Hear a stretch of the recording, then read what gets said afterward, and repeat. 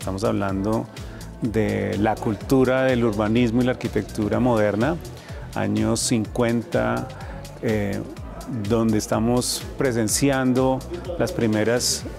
aproximaciones a lo que entre comillas se llama la ciudad moderna. Y desde esta perspectiva, pues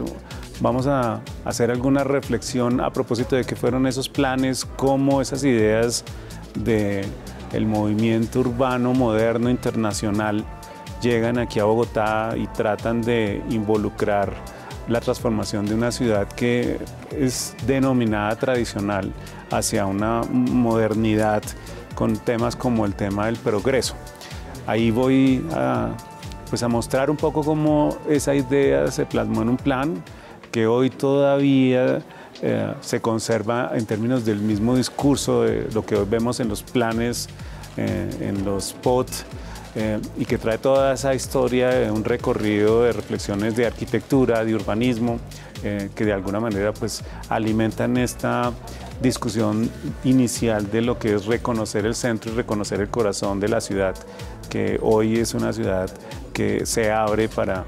poder acercarnos a esas diferentes miradas y en este caso la mirada de una ciudad que empieza a involucrar la modernidad y abrazar todas estas ideas de un mundo conectado, de un mundo donde las, los retos es un poco salir de esa tradición. Hay una cosa importante cuando estamos hablando del centro y cuando denominamos ese centro como el corazón de la ciudad y es que ahí hay eh, una oportunidad de hablar de, del espacio de todos y, me refiero a esa noción que hay en, en las ciudades y específicamente en Bogotá de buscar unos espacios en donde todos quepamos. Desde esa manera, hablar, por ejemplo, de materiales, hablar de edificios, hablar de espacialidades, pues cobra mucha importancia porque son espacios que están pensados para que todos los vivamos. Y esos eh, espacios empiezan a tener unas connotaciones de lo público en términos de la misma definición de lo que nosotros defendemos como democracia. Creo que ahí hay una oportunidad para hablar de por qué se toman decisiones, hablando de tu pregunta, en el caso, por ejemplo, de la conferencia que vimos hoy, eh,